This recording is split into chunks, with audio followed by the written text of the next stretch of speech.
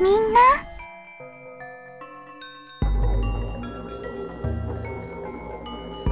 助けに来てくれたの？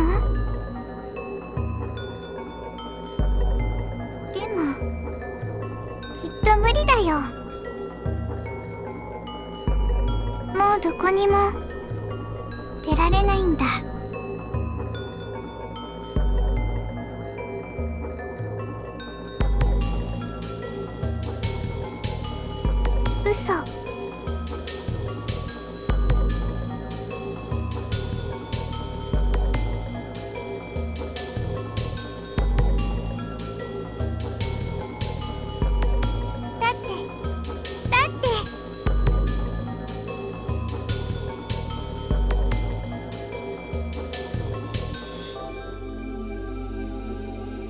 誰と話してるんだ？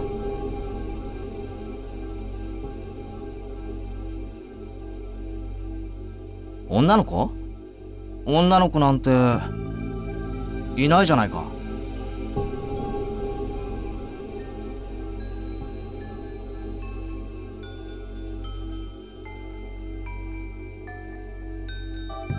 おいおいやめてくれよ。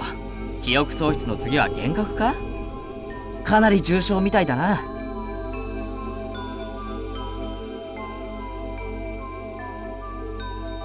なあ少年。腹減らないか。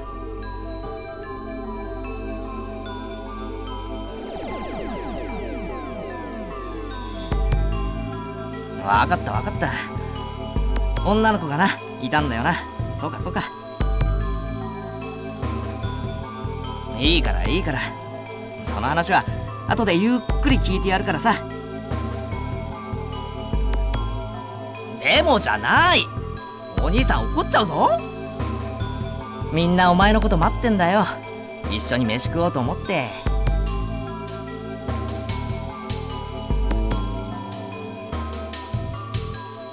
はあ。こりゃもう完全にいっちまってるな。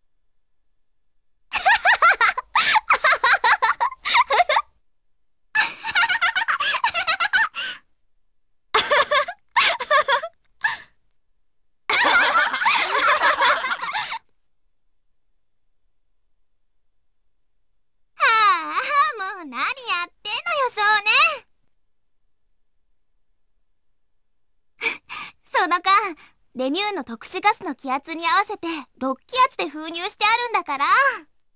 でも今ここは1気圧でしょ？だからちゃんと手で押さえて開けないとそんな風に中の炭酸が噴出して。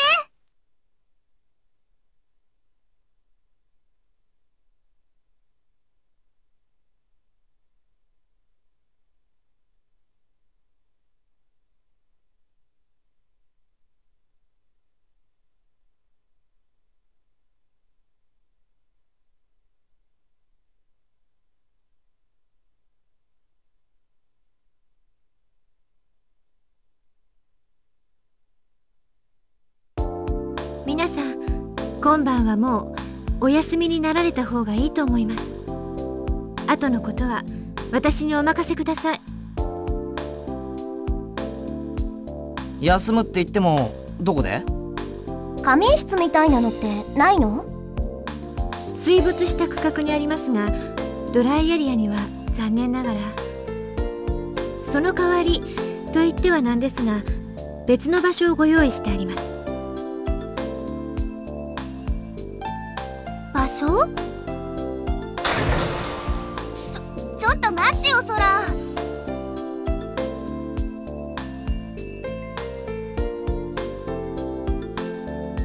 っていうかこの部屋って何？ご説明申し上げます。ここは医療用の過減圧室です。この部屋で減圧症の治療を行うことができます。減圧症？はい。通常レミューから外に出るときには6気圧から1気圧へ長い時間をかけてゆっくりと減圧しなければなりません。しかし皆さんは今回の事故により急激な気圧変化を経験されています。もしかしたら減圧症にかかっているかもしれません。そこで皆さんには念のためこの部屋の中で再加圧をしていただきたく軽い減圧症はすぐに自覚症状が現れるわけではないのです。一晩二晩経ってから痛み出すこともあります。やばいと気づいてからじゃ遅い？はい。つまり念には念を入れてということです。ねえソラ？救護室にあるえーっとほらあれ。いろんな病状を診断できる装置があったじゃない？